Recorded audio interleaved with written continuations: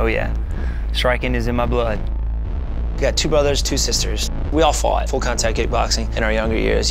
We did all start when we were three years old. My sister was the first. After her, I started competing. I had my first fight when I was 15 years old, and my dad has been in my corner every step of the way. I wouldn't be where I am as a fighter or as a man if it wasn't for my dad.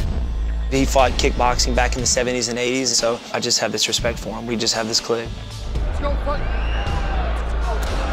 Where I threw a lazy kick in the first round, he ended up catching it, and I went down. Can't throw any lazy kicks. He caught you left side forward, left hand down, smoked you right on your head. Just like I told you, get your hand up and you didn't.